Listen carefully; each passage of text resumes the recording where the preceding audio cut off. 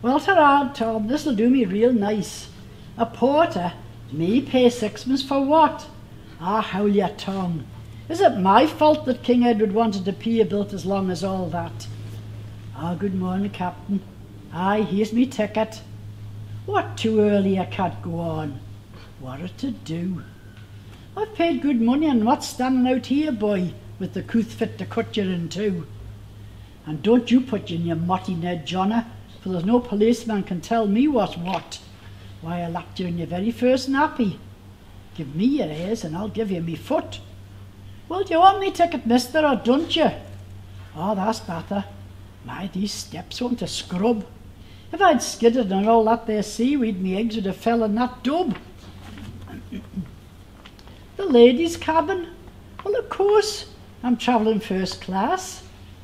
Yeah, might look a bit of a canon, and coarse as ghost maybe too, perhaps you're thinking. But I've paid me way since before you were born.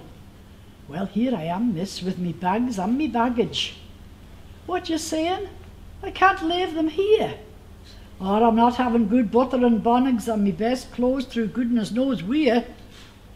Why, if it wasn't for people like me, gal, you'd be out of a job. I'll sit in this nook. So just you fetch me a rug and a tin, gal. What do you mean this say as flat as a fluke? Why, the flue is lifting up like the mischief, and my stomach is heaving up too. Oh, where's that tin? Well, I tell you to get it. You're too late. oh, stop me, Joan, me do. I lay down, for all these gadgets is swaying. My, I wish I was back home on the hill. I'd sooner sweat over pies and meat puddings when the men is all there at the mill. Well, now me breakfast is gone, I feel better. Here, miss, how about a nice cup of tea? Who's too soon? Why, what barking at lasagna? For my loss, we're more than half through the day. I'll have a skeet round the corner of the sofa. What's them people doing walking about? My gosh, but I'm wanting that drink, though. Where's that stewardess?